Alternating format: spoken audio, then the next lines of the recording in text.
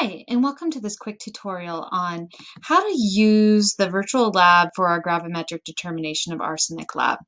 And so if you are on the web page, thechemcollective.org, um, and you've used the link, there's a couple things that you can see here. And so one of them is that there's always this introductory video of just how to kind of in general use their program.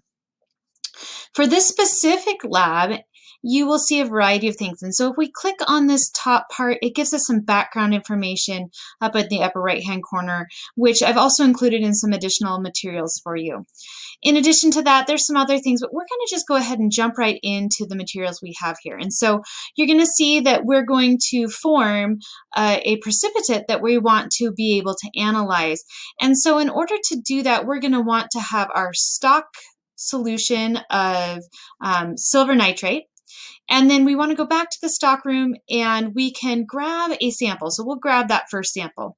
Now we also want to go back to the stockroom and pick up some glassware. Say we want to have a beaker. Now this is a lot simpler than maybe having um, a beaker that we would be using in the lab where we would have to be doing these measurements ourselves.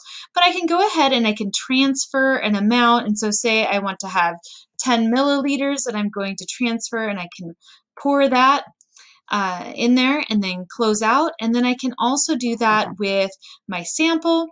Okay, so I'm going to do that with my sample. I just grab and drag this over and then I'll do say 10 milliliters on that. I don't know how you guys are going to decide to design your lab. That will be up to you and how you want to do that.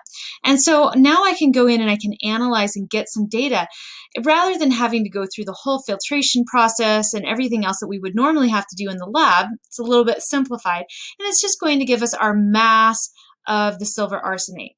And so that is one of the ways that you guys can go about and do this. And so you could do multiple trials. Um, you can click on any sample at any time to find out maybe how many milliliters you have left. Um, so there's the information, and then you can go back to the stockroom. There's ways of taking a look and diluting your solutions. You have a whole host of glassware available, and then you have some additional tools, um, which I don't believe you'll need for this particular lab. I hope that is helpful in giving you just a little bit of an orientation with how to manipulate some of these variables in this lab. Good luck.